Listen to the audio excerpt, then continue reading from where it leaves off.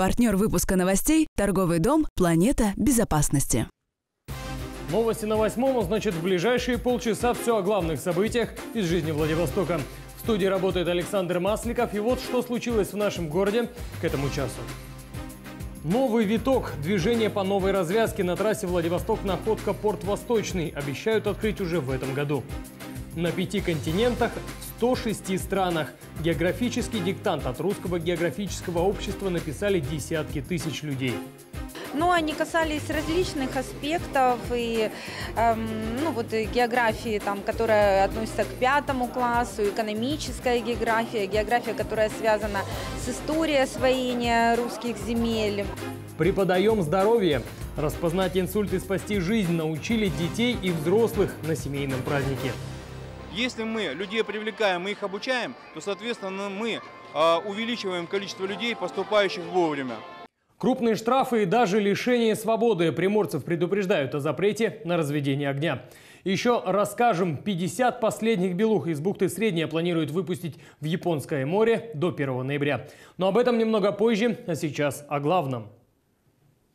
Движение по новой развязке Артем Бухта-Муравиная Находка на трассе Владивосток-Находка-Порт Восточный собираются открыть уже в этом году. Сегодня подрядчик компания «Трансстрой Механизация» ведет работы на втором этапе строительства дороги. Накануне ход работ проверил губернатор Олег Кожемяка. Современная трасса станет альтернативой одному из самых популярных у жителей и гостей Приморья маршрутов на юге края. Светлана Садовая расскажет подробно. Владивосток – находка Порт Восточный. Многострадальная дорога вот уже который год вызывает нарекания со стороны автомобилистов. Вся в ухабах и выбоинах. Настоящая междугородняя полоса препятствий. Уже в этом году многое должно измениться. Откроют движение по новой развязке на трассе Владивосток, находка Порт Восточный, недалеко от бухты Муравьиной. Следующий объект – участок трассы от Артема до Царевки. Строительная готовность объектов на этом мостовом сооружении 81% готовности, на прошлом, который вот должен запуститься, 86%. Сегодня подрядчик компания «Трансстроймеханизация» ведет работы на втором этапе строительства дороги. На этом отрезке предусмотрены три транспортные развязки в районе бухты Муравьиной, поселков Шкотово и Царевка, а также 28 мостов и путепроводов общей длиной около 4 километров, в том числе эстакада длиной более километра.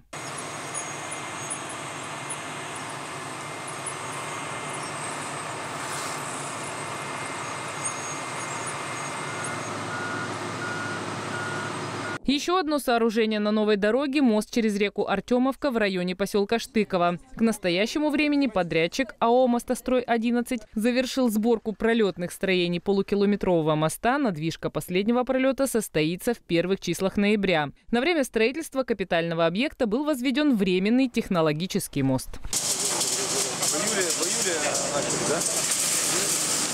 Новый участок до Царевки в скором времени будет упакован в цементобетон. Устройство дорожного покрытия проводится высокотехнологичным комплексом автодорожной техники «Гамака». Срок эксплуатации такой дороги до капитального ремонта составляет 25 лет. К тому же при строительстве учтены повышенные гидрологические требования. Здесь э, уже э, основной, э, самый большой объем работ выполнен. Сейчас идет изоляция верхнего слоя. И далее начнется бетонирование, которое закончится, я думаю, что в течение там, двух недель.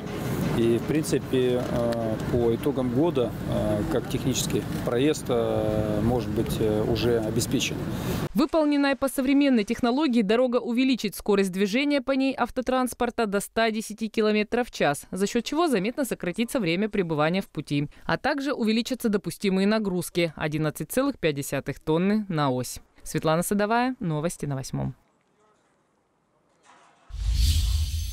А тем временем жители Приморского края ратуют за немедленную реализацию нацпроекта «Безопасные и качественные дороги Приморья» для трех поселков Надеждинского района. В течение нескольких лет около 300 школьников сел Прохладная, Шмитовка. Зима южная из-за отсутствия тротуаров и безопасных переходов на трассе, которая проходит через поселки, каждый день рискуют. Видеоролик об этом прислал в адрес 8 канала помощник депутата Думы Надеждинского района Олег Зинкевич. Он просит подключить к проблеме краевые власти и контролирующие органы, потому что не может добиться решения на месте. Видео народного корреспондента смотрим прямо сейчас. 2 сентября на торжественной линейке, посвященной началу нового учебного года в школе номер 7 села Прохладное, инспектор по пропаганде безопасности дорожного движения предложил родителям. Все-таки пока тепло, пройдите безопасный маршрут вместе с ребенком за руку. От дома до школы и обратно. Э, покажите ему, по какой стороне дороги безопасно идти где наиболее безопасно ее перейти, потому что пешеходный переход в селе Прохладом один единственный напротив школы. На остальных улицах пешеходных переходов нет, и вам, как взрослым, нужно самим определить для своего ребенка, где ему будет безопаснее перейти. Но родителям нечего показать ребенку. Нет безопасного маршрута к школе. Улица Амурская, вдоль которой расположена школа и которая является региональной дорогой с интенсивным движением большегрузного транспорта, не освещена, на ней отсутствуют тротуары, а обочины местами такой ширины, что по ней практически невозможно пройти, не оказавшись на проезжей части дороги. Установленные дорожные знаки на некоторых участках дороги, по обочинам которой дети идут в школу, допускают движение транспорта со скоростью 79 км в час, без угрозы административной ответственности водителей. Вы представляете, что такое груженный многотонный самосвал, несущийся с такой скоростью по темной, неосвещенной улице, не имеющей тротуаров?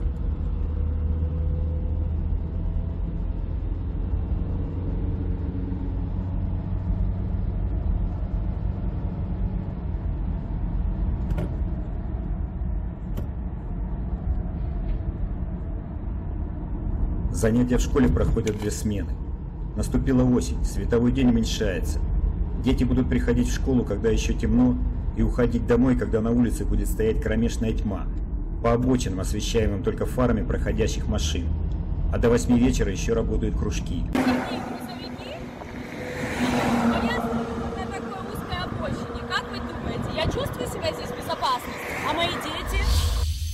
Во Владивостоке задержан подозреваемый в серии грабежей. Злоумышленник совершал открытые хищения, когда потерпевшие снимали деньги через банкоматы. Возбуждено уголовное дело. Фигуранта заключили под стражу. На след преступника помог выйти сотрудник банка, который сообщил, что женщину, снимавшую деньги в банкомате, ограбили. Прибывшие стражи порядка провели опрос свидетелей осмотрели место преступления. По подозрению в грабеже полицейские задержали 25-летнего, ранее судимого, жителя Надеждинского района. В отделе полиции задержанный дал признательные показания и рассказал еще о двух грабежах, совершенных им аналогичным способом в Надеждинском районе. Возбуждено уголовное дело по признакам преступления, предусмотренным частью 1 статьи 161 Уголовного кодекса Российской Федерации. Это грабеж. Статья предусматривает лишение свободы на срок до 4 лет. Подозреваемый заключен под стражу. Расследование уголовного дела продолжается. В Приморье спасатели ищут четырех пропавших рыбаков. Четверо мореходов отправились на моторной лодке на рыбалку в заливе Владимира в Ольгинском районе Приморья еще 26 октября. И до настоящего времени не вернулись, сообщает МЧС. На поиски отправлена группа спасателей филиала Находкинского поисково-спасательного отряда. Помимо этого, содействие в поисках будет оказывать беспилотник лесоохраны. На данный момент рыбаков ищут 18 спасателей, 7 единиц техники и одно плавсредство. Кроме того, морской спасательно-координационный центр «Владивосток» организовал оповещение судов, которые проходят в районе пропажи рыбаков. В связи с высокой степенью пожароопасности в крае, восьмой канал и специалисты Департамента лесного хозяйства напоминают, что за нарушение правил безопасности и умышленный поджог лесов предусмотрены крупные штрафы и уголовная ответственность до 10 лет лишения свободы. Жителям края рекомендуется воздержаться от курения в лесу. Запрещено разводить костры, бросать горящие спички, окурки и горячую золу из курительных трубок, стекло. Заправлять горючим топливные баки двигателей внутреннего сгорания при работе двигателя, засорять леса бытовыми, строительными, промышленными отходами. При обнаружении лесного пожара жители края могут сообщить о нем на прямую линию лесной охраны по телефону 8 800 100 ровно 94 00. Прямые регулярные рейсы из Владивостока в Харбин открыла китайская авиакомпания Chengdu Airlines. Об этом сообщают представители Международного аэропорта Владивосток. Рейсы будут выполняться два раза в неделю по понедельникам и пятницам. На сегодняшний день Владивосток связан авиасообщением с восемью городами Поднебесной. В том числе один раз в неделю рейсы в Харбин выполняет авиакомпания «Уральская авиалиния». К слову, буквально на днях международный аэропорт Владивосток перешел на зимнее расписание полетов. Еженедельно из аэропорта Владивосток будут выполняться более 20 рейсов в Китай. На корейском направлении количество вылетов из Владивостока составит до 8 рейсов в день в Сеул и Пусан. Любители отдыха в Таиланде смогут летать из Владивостока по четырем направлениям.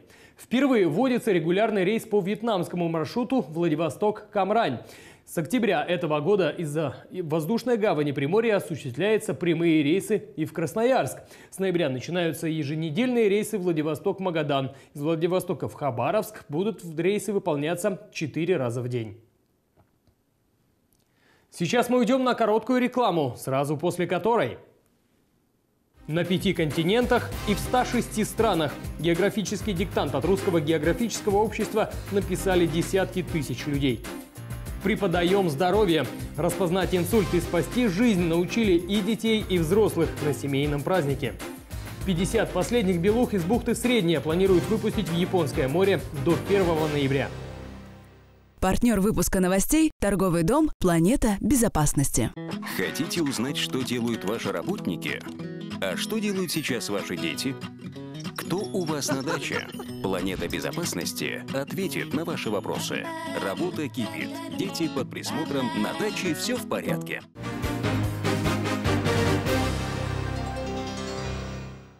Сегодня с вами я, Александр Масликов, и мы продолжаем. На пяти континентах и в 106 странах географический диктант от Русского географического общества написали десятки тысяч людей. Преподаем здоровье. Распознать инсульт и спасти жизнь научили и детей, и взрослых на семейном празднике. 50 последних белух из бухты Средняя планируют выпустить в Японское море до 1 ноября. В минувшее воскресенье, 27 октября, географический диктант писали на пяти континентах и 106 странах – Дании, Турции, США, Бразилии, Намибии, Австралии. Присоединился к акции Русского географического общества и Владивосток.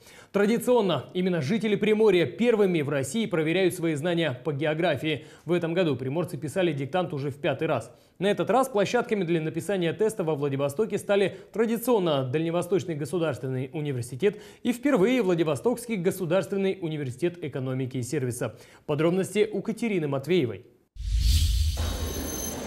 Вопрос номер 22. Этот город, расположенный за северным полярным кругом, обладает уникальным комплексом промышленных предприятий с полным циклом производства металлов. 45 минут. Именно столько времени дается для ответов на вопросы географического диктанта. Задания разделены на две части. В первой части 10 вопросов общей направленности, во второй 30. Здесь недостаточно просто эрудиции или знания фактов. Нужно применить логическое мышление. Ну, они касались различных аспектов и эм, ну, вот и географии, там, которая относится к пятому классу, экономическая география, география, которая связана с историей освоения русских земель, цели. Для нас очень важно, чтобы к нам приходили школьники, чтобы они осваивали э, просторы нашей России и э, самостоятельно, ну, то есть в путешествиях, и чтобы они осваивали эти просторы через знания, чтобы мы повышали уровень патриотизма, потому что география, я считаю, как одна из, ну, таких история, география, одна из гуманитарных наук, которая формирует личность человека человека. Многие участники признаются, накануне восполняли пробелы с атласом в руках, но за ночь в данном случае не подготовишься. И хотя вопросы из школьной программы есть, где-то требуется подключать образное мышление и применять общие знания о стране. Конечно же, я привел своих учеников, и, может быть, ради них я сюда и пришел в первую очередь. Готовили как-то? Нет, нет, нет. Ну, морально, конечно, готовил. Телефоны свободно лежат на столах, однако ими никто не пользуется. И времени мало, и смысла нет. Особенностью географического диктанта является его анонимность. Перед началом тестирования каждому участнику присваивается идентификационный номер, и по нему экзаменуемый сможет проверить свой результат на сайте. Диктант был э, довольно несложный. На некоторые вопросы я знал ответы. Например, про красноярские столбы. Я буквально недавно там сам был. Это, по-моему, единственный вопрос, на который я сто процентов знал ответ. Самые сложные вопросы мне показались про определение фотоснимков и какие-то области и регионы были.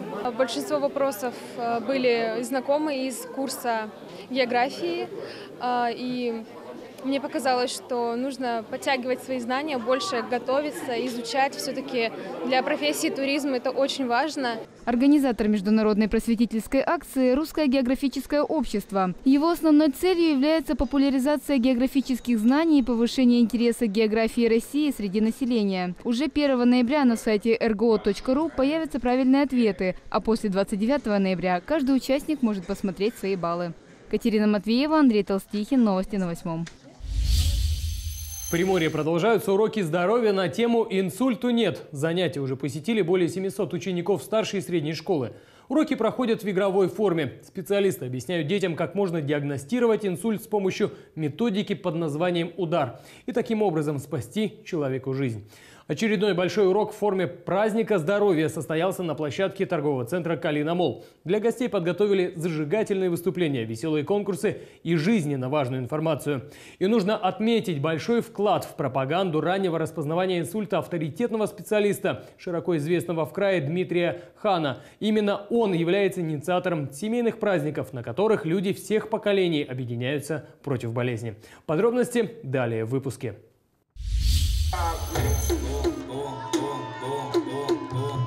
Красочное шоу на серьезную тему. Инсульт стоит на втором месте по количеству летальных исходов после инфаркта миокарда. Однако инсульт можно и нужно не только вовремя распознать, но и предотвратить тяжелые последствия с помощью диагностики «Удар». Отметим, что основным популяризатором методики в Приморье является авторитетный специалист в этой области Дмитрий Хан. Вот эти мероприятия, они совершенно прямой пропорциональной зависимости. То есть, если мы людей привлекаем и их обучаем, то, соответственно, мы увеличиваем количество людей, поступающих вовремя. Поэтому я могу сказать, что, например, по сравнению с 2016 годом, в 2016 году а, людей, вовремя попавших, и которым мы смогли помочь да, и сделать лечение, их было 70 человек. Сейчас на 9 месяцев это почти 300 человек. Терапевтическое окно, так медики называют временной промежуток от наступления первых симптомов до начала лечебных процедур в стационаре. Для инсульта это время ограничено и составляет всего 4,5 часа. Дело в том, что тромб закупоривает сосуд и мозг не получает питания. Но проблема в том, что многие люди не сразу понимают, что у них случился инсульт. И в этом смысле методика распознавания инсульта под названием «Удар» должна быть известна всем. Именно этому и пытались в игровой форме научить и взрослых, и детей на празднике здоровья в торговом центре «Калина Мол». Вот здесь идет массовая агитация. Я впервые это заметил, честно говоря, на машинах скорой помощи еще в городе. Это пресловутая аббревиатура «УДАР», которая гласит следующее. Это кривая улыбка, нарушение артикуляции и нарушение координации движений. До этого я знал, что существует такая болезнь, а сейчас я, наверное, уже смогу по каким-то основным причинам, улыбки, э, движений, э, там, артикуляции и другим признакам, ну, определить состояние человека, если вдруг ему стало плохо. Основных причин возможности возникновения инсульта четыре. В группе риска те, у кого гипертоническая болезнь, диабет, высокий уровень холестерина и нарушение ритма сердца. И четыре часа есть у врачей, чтобы спасти жизнь пациента. Именно это временное окно. Первые четыре часа дает больше всего возможностей спасти клетки головного мозга от необратимых изменений. Инсульт не бывает у молодых самом деле бывает. Надо за собой следить, за здоровьем. Возрастной ценз инсульта на самом деле распространенный миф. В неврологическом отделении для больных с острыми нарушениями мозгового кровообращения зачастую имеют дело с пациентами, которым нет и 40 лет. Светлана Садовая, Катерина Матвеева, Андрей Толстихин. Новости на восьмом. 50 последних белух из бухты Средняя планируют выпустить в Японское, а не в Охотское море. Сделать это намерены до 1 ноября. Место выпуска решили изменить из-за штормовой погоды. Животных выпустят в бухте в районе Лазовского государственного природного заповедника. Тем временем ЗОЖ-защитники переживают, что белухи могут стать жертвами северокорейских браконьеров и их сетей. Но специалисты заявили, что суда с северокорейскими браконьерами ушли из акватории Лазовского заповедника, а брошенные ими сети не смогут причинить вред белухам. Как сообщил директор заповедника Владимир Арамилев, Северокорейские шхуны не обладают снастями, которые могли бы нанести вред огромным белухам. Кроме того, среди лар, которых мониторят специалисты на лежбищах, ни разу обрывков сетей не видели. Синоптики озвучили прогноз на последние дни октября в Приморье. Погода в крае будет неустойчивой. Атмосферный фронт, который смещается из Китая, уже вызвал увеличение облачности и местами дожди. В ночь на вторник атмосферные фронты будут смещаться над краем. Дожди пройдут на большей территории. Усилится ветер. Днем фронты сместятся в Японское море. Дожди пойдут на убыль и сохранятся в основном в северной половине. Максимальные температуры немного понизятся. В середине недели ожидался выход в Японское море южного циклона. Но, согласно последним расчетам, его траектория пройдет южнее и на погоду Приморья вихрь влияния не окажет. В среду край окажется под влиянием гребня антициклона циклона, который обусловит ясную и спокойную погоду. Во Владивостоке в ночь на вторник пройдет интенсивный дождь, сопровождающийся сильным ветром. Днем дождь прекратится и ветер стихнет. В середине недели существенных осадков не ожидается.